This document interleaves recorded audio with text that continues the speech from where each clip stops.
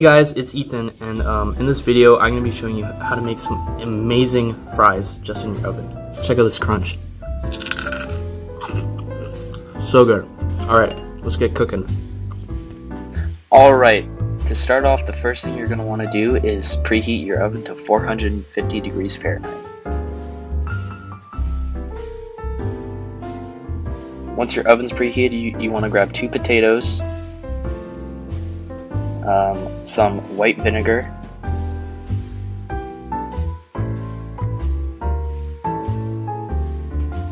some extra virgin olive oil, and then some black pepper and some salt just to season. And then one ingredient I like to add is a little bit of parsley at the end. Alright, once your ingredients are all together, you're gonna go you're gonna want to grab a big old pot just start filling that guy up with water. Fill it up as much as, like, all the way up.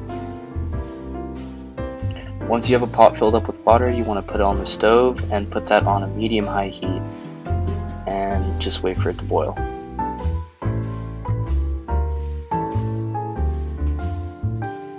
Okay, while your water's boiling, you're going to want to start washing your two potatoes.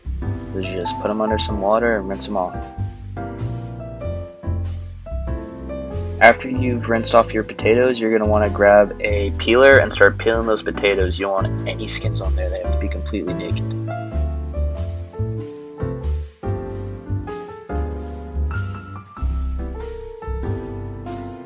It takes a bit of time, I know, but it's worth it.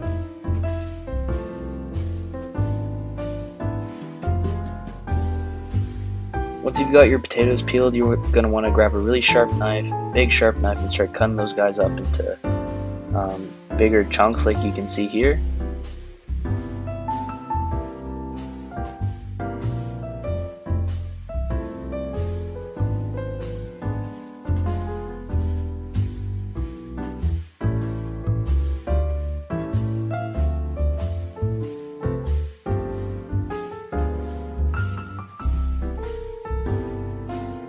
And then once you got them all cut up into these big chunks, you're going to want to start cutting them into fries. And you can really cut them however thick you want. I like my fries a bit thinner, but you can make them as thick as you want. It's your fries.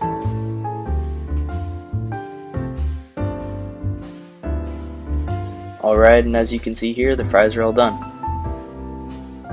Now once your water's boiling, you're going to want to add a bit of salt to that boiling water and about two tablespoons of vinegar to help keep the fries from getting mushy in the water, in the boiling water.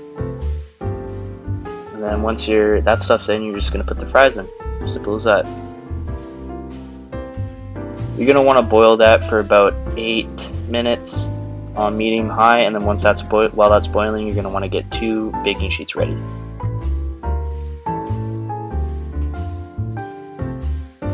As you can see, the potatoes have finished boiling and you just want to strain them out and let them steam off.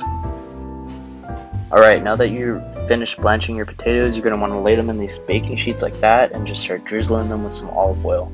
Really put a lot on, you don't you want them to be soaked and completely cover them all, move them around, and then you want a little bit, a thin layer of olive oil on the bottom, just as you can see here. Yep, they're all coated and they're ready for the oven.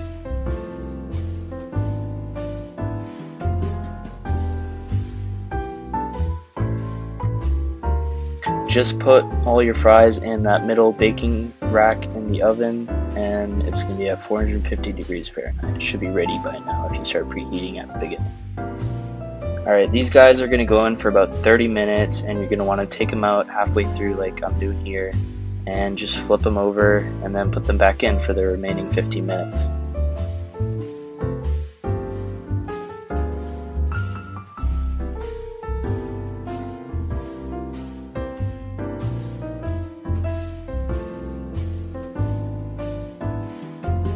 Alright, once your french fries have finished baking, you're going to want to get a really big bowl and line it with some paper towels or some napkins and just start dropping your fries in there so that you can drain off any of the excess oil that will be on there from the baking process.